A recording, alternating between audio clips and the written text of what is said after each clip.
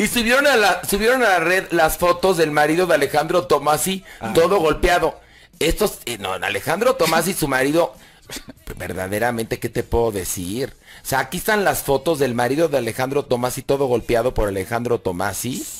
Este, pero ahora, este, Y su imagen alegre y fresca ya. es que ayer dijo justamente Oscar. Ruiz, marido todavía de Alejandro Tomasi, que su imagen alegre y fresca se estaba viendo, pues ahora sí que Empañada. pues muy empañada por porque Alejandro Tomasi pues le va a sus fregadazos y Alejandro lo acusa de drogadicto, pero él también acusa a Alejandro de drogadicto y este y bueno, ahora dice eh, este hombre Oscar Ruiz que Alejandro Tomasi, fíjate, ¿eh?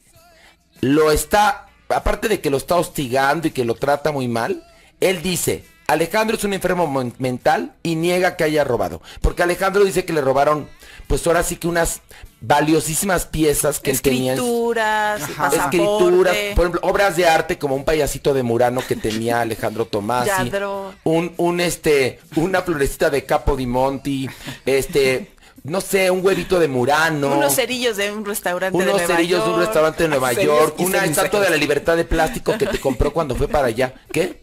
Y ceniceros y man- Sí, ¿no? Así, sí, Servilletas sí. de restaurantes famosos. Entonces, bueno, pues miren, qué mal, ¿eh? Pues es que uno más uno son dos, ¿no? Ay, ¿Qué tal mi Laisha, eh?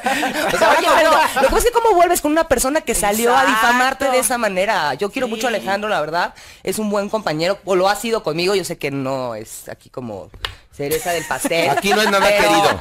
Pero la verdad es que eh, a eso te arriesgas, ¿no? O sea, no te puedes sorprender de lo que está pasando si estás permitiendo y llevando esta codependencia. Pero el amor es tan bonito, Laisha, y qué mal que dos personas que representan la diversidad.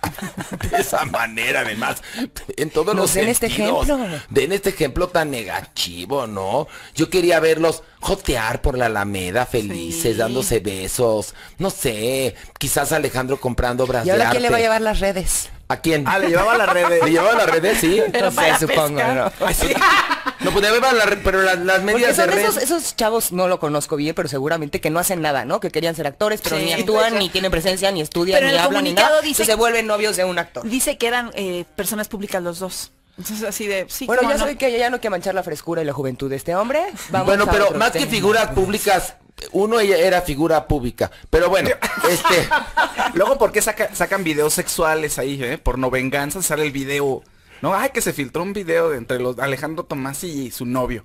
Qué casualidad. yo no quisiera ver eso, ¿eh? No, Ay, no. gracias. O sea, no, no, eso sí no me, no me lo puedo meter en mis ojos porque luego como me lo saco. Ajá. Tú Pero- imagínate. No, no quiero. Aparte todos estos imaginarme. videos siempre los mandan ellos, ¿no? O sea, difícilmente, creo que solo hay una chava que, que, que le subieron realmente el video, pero todas las ¿A demás... quién? Dinos, Laisha, ya. Dinos. A Noelia. Ah, no. ¿A Noelia? A no, Noelia. No, a Noelia, le, a Noelia, fíjate. No desde otro ella. punto de su cuerpo Exacto. le revisaron la garganta. Te lo juro, ¿eh? Pero ¿sabes qué es lo peor? Ese de Noelia sí era muy profesional. O sea, se veía profesional. Si yo no Ah, supiera sí. quién es Noelia, yo diría, oye, qué buena actriz porno. Te Oye, lo prometo. no, eh, lo Noelia, prometo. mira mis respetos, ¿eh? Sí. El paso de la muerte hizo ¿Cómo es? El paso de la muerte de Noelia. Aparte de Noelia, pues le gustan afroamericanos, ¿no? Y hace el paso de la muerte, nada más levanta un poquito la cadera y el paso de la muerte. pac, pac, pac. No, lo- no, ¿Sabes es- qué? no. Claudia y yo no entendemos, no, No, no somos ¿cuál es el todavía como? Yo, muy pero mi- mi, inocentes. mi favorito es el de David Cepeda. Ese es genial. Es, se llama sensual. Se llama pero con un Arrancando. toque- No, Ah, ¿qué? ah. Se llama arrancando. No, es sensual pero con un toque de chichifo. Exacto. ¿Sí o no? ¿No? Dime si no. ¿Qué tal? Sensual pero con un toque de chichifo, ¿no? Pero- y además al final nada más pasó, le faltó poner ¡Viva la familia! bueno, vamos a un corte. Nada más aquí un comentario precioso que nos hace una una persona que nos adora, dice Ingrid Cubas. Me encantó el comentario de no fomentar la pobreza musical en el gusto de los mijitos. Tienes toda la razón. Angie Ortiz, por esas canciones, las bendiciones, eh, aprenden a chacalear y perrear desde chiquitos. Ay, sí. Fuera despacito. Canciones de Cricri tienen mayor riqueza musical que despacito. Basta con escuchar el intro del ratón vaquero. Cántanos un pedacito, Horacio, del rato. El ratón vaquero.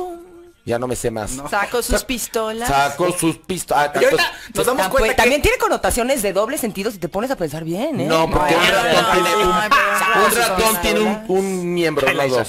Sí, además, ¿qué, pues qué ratón tan raro, oye. No, pues a todo le No. encuentras. Así cantas, caminito de la escuela, pues también es vulgar. Vamos a un corte y volvemos.